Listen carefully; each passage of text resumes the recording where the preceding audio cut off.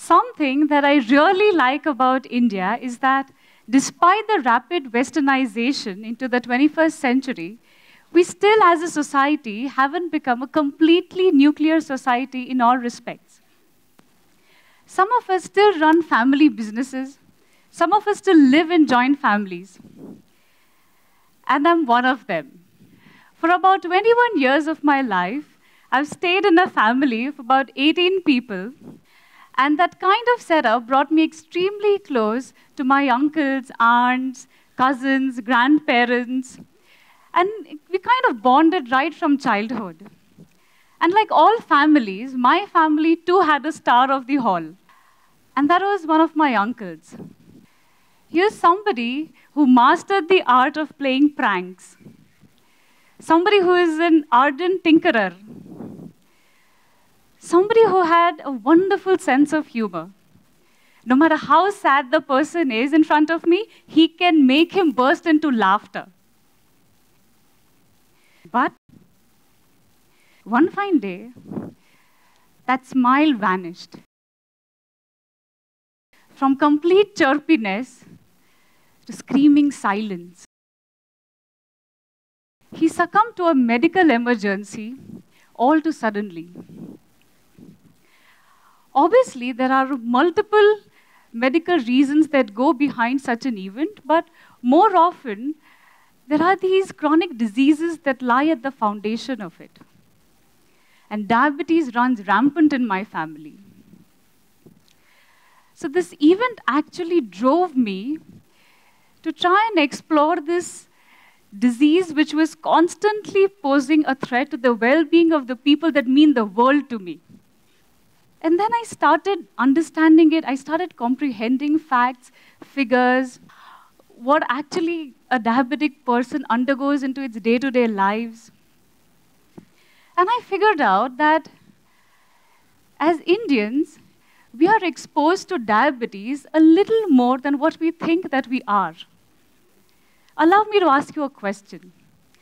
How many of you have known a surgeon, engineers, scientists, designers, entrepreneurs, as friends probably? A couple of you? I'm sure you can count them at the tip of your fingers, right? Compare this to the fact that every fifth adult in urban India is diabetic. Now, that's the impact that this disease has on our society. As a designer, I did not want to change the face of healthcare altogether, neither was I aiming to attempt a cure for diabetes. All I wanted to do is to just address these adversities that my family members were facing. Just that. And the, and the biggest one that they faced on daily basis was the fluctuation, the blood glucose fluctuation.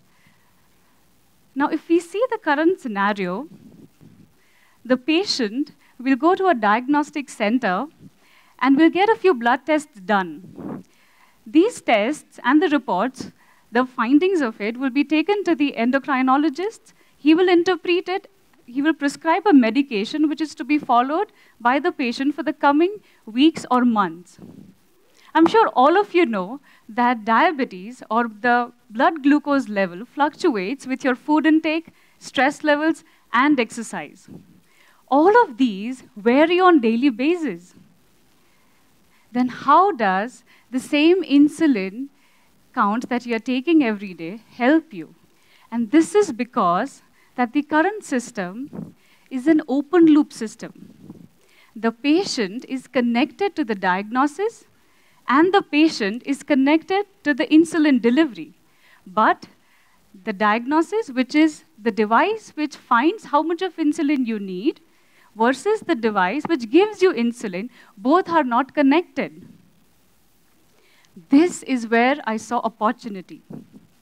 And I connected them. Hence, now it becomes a closed loop system, which means it is a need based system need and feedback. Now, if I simplify this, and if I give an example, the current system, which is the open loop, is more like how humans eat. We eat even when we are not hungry. Right? The closed loop is more like how animals eat. They eat when they are hungry. Need and feedback. Now, the next hurdle that I faced was when things become need based, it means that there are going to be multiple small, small quantity of insulin which is going to be administered onto the patient multiple times in a day. In the current scenario, a lot of diabetic patients take insulin injections by themselves, which means they'll be giving pain to themselves many more times.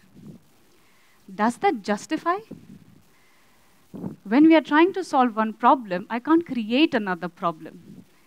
So that probably instigated a need where I wanted it to be a pain free system. How do I make it? It almost seemed impossible.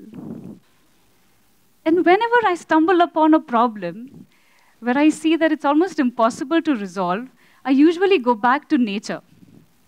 And I believe that most of these engineering mechanisms are almost as a live prototype right in there. And that's where I found mine. So one day, what happened, me and my nephew were walking, we were crossing the road, and in middle of the road, my nephew tells me, Phew, you have a mosquito on your hand.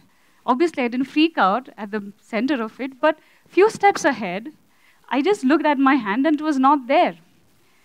And that struck a lightning.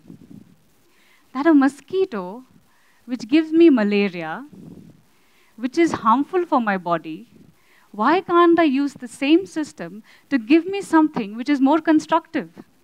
And that led to the microneedle array, a pain free administration of insulin inside the human skin. Something like this.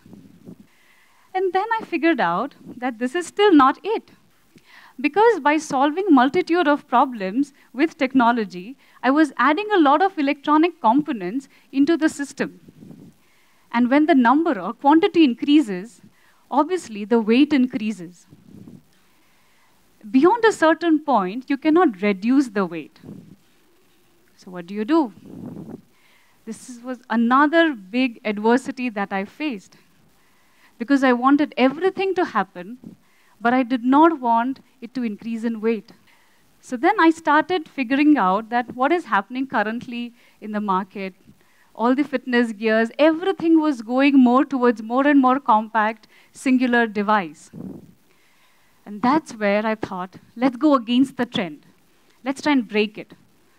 What if instead of combining, I separate them? I didn't know whether it would work or not, but I still made a try. And I separated the diagnosis, which is detecting the blood glucose level, and I separated the insulin delivery. And it worked. Not just by reducing the weight, because had the weight been more, it will not stick onto the human skin because it's against gravity. It will peel off. And if I'm trying to solve so many problems for the benefit of the user, and if, it, and if it keeps on peeling off, it doesn't make sense. The patient cannot use it, then what's the point? So when it becomes lightweight, it sticks onto your body comfortably. And that's where I saw a solution, bang on.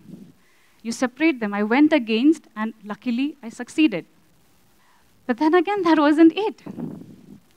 So many times, the diabetic patients end up into an emergency situation. So many times, they also meet with accidents. They would fall unconscious in the middle of the road. And what, what happens? Usually, the paramedics are trained to administer more life saving practices onto the patients. They probably take a little longer to rule out all the possibilities and jump onto hypoglycemia, which is low blood glucose level. That's it. Very simple. All you have to do is to just put sugar into the mouth. That's it. And the person is saved. In the Indian context, we do not carry health cards or any such information into our wallets or into our purses, which tells the doctor immediately that this is the history of the patient. Do not try something else first. Let's try XYZ first. That's where I saw an opportunity. And I used the two separated units to do this function as well. So that whenever an emergency arises, all the paramedics have to do is to just put the phone next to the device and they'll get the primary health information about the patient and administer the requisite help immediately. Because sometimes it's not the facilities that kill the patient, it is the time window that kills it. And now, all these solutions with another few functions and everything, when it amalgamates, it makes something like this, which is the insulin delivery system, a pain free, closed loop solution to diabetes. Okay, thank you. But then, if I go back to the journey, I realized that every time when I was trying to figuring, um, when, when I was trying to figure out what the diabetics need and what problems they are undergoing, I was coming up with a lot of problems that were very difficult to deal with. Say, for example, in diabetes, none of the problems are isolated in nature. There are multiple problems that affect each other, they are interlinked, and their effects are also compounded. So, in such a complex situation, I felt that there was a need for me to go a little more systematically, a little more systematic rather. So, what I did was, I started clustering all the problems. And sooner I realized that these adversities or problems are actually something that I can group into three different categories the technical, systemic, and behavioral. Technical, as the name suggests, is more to do with the engineering side, something that would hinder the smooth functioning of a system. Those club into the technical clusters. Systemic, as again, how the name suggests, is more to do with the macro level problems. And behavioral, obviously, is to do with us.